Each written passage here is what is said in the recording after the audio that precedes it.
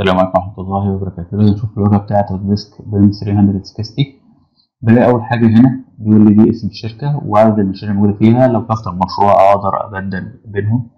باجي هنا بلاقي دي ال members أو الناس اللي موجودة في المشروع. أقدر أقول له add وأضيف من خلال الإيميل أي شخص أنا عايزه. أقدر أعلم على أي شخص فيهم وأقول له ريموف أقدر أشوف إيه ال application اللي موجودة نقدر نضيفها. هنا عندي ال project admin لو دوست هنا هيشيله من ال project admin لو دوست تاني يفعله وال insight أساس ان هو من حقه إن هو يعمل تحليل ويطلع على الإحصائيات. desk field موجود اهوت فتقدر تدخل عليه.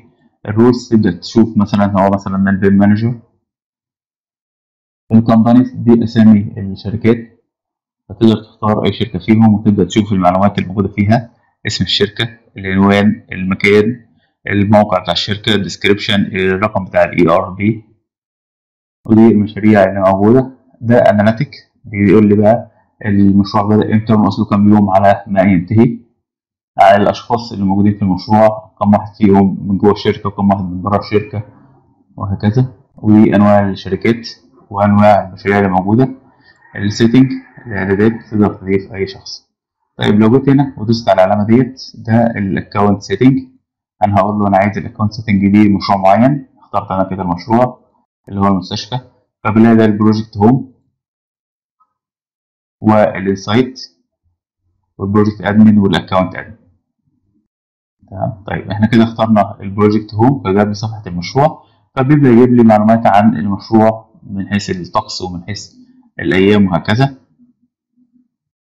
وتقدر تقول له setting وتختار بالسيلز أو بالفهرنايت. طيب هقول له insight هيبدأ يجيب لي معلومات عن ال activity بتاعة المشروع كم مشكلة موجودة وكم مشكلة اتقفلت وكم مشكلة لسه ما اتقفلتش وعدد المشاكل اللي active وعدد المشاكل اللي close فبيبدأ يجيب لي إحصائية بالحاجات الموجودة في المشروع دي الخاصة بال quality ودي خاصة بال safety لو في حاجة خاصة بال safety في report تقارير يبدأ يخليني أطلع عليها. طيب بيطلب مني إن أنا أعمل ادخل تاني. طيب.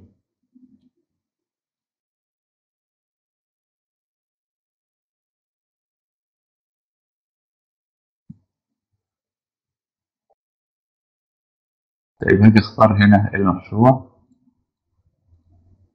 أقول له ال project admin أو account admin بيجيب لي بقى الإحصائيات الخاصة بال account directory بتلاقي فيها لو في أكتر مشروع يبدأ يجيبهم لي وتقدر تشوف الأرشيف وتطلع على المعلومات الموجودة.